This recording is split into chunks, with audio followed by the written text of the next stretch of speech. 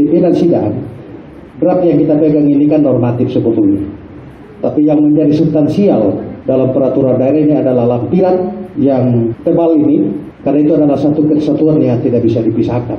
Kita hanya memberikan saran dan pendapat kepada saudara-saudara kita dari Bapeda. Yang terpenting sebetulnya dari muatan RPJMD ini apakah ini sudah mengakomodir tentang kepentingan-kepentingan musrembah di tingkat kampung, di tingkat distrik atau tidak. Karena potret masa depan mimika lima tahun ke depan isinya ada di sini. Inilah nomenklatur. Kita duduk di sini oleh karena kita dipilih masyarakat juga di pedesaan dan pinggiran. Apakah kepentingan kepentingan pembangunan di sana sudah terakomodir di dalam RPJMD atau tidak?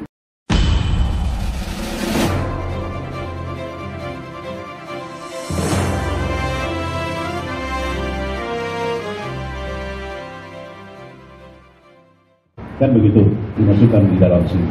Sejak saya ada di sini dan berganti bupati beberapa kali ini, pembangunan di Kabupaten Mimika ini tidak dari kecamatan ke kota. Itu yang perlu kita pikir bersama-sama sebagai kota dewan dan juga kita memasukkan kepada pemerintahan supaya mereka mulai dari sekarang merubah cara menyusun RPMJD ini.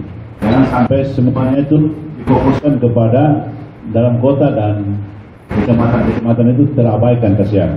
Mereka tuh mau bangun bagaimana kalau dikasih dana 3 miliar. Dia naik Johnson saja habis itu uang.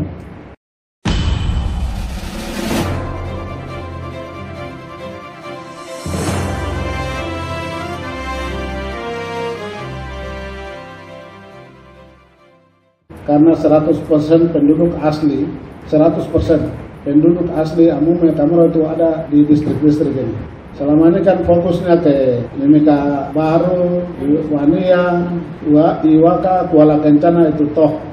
Makanya teman-teman ini tanya kira-kira isi dari RPJMD yang ada dokumen yang ada ini apakah pro rakyat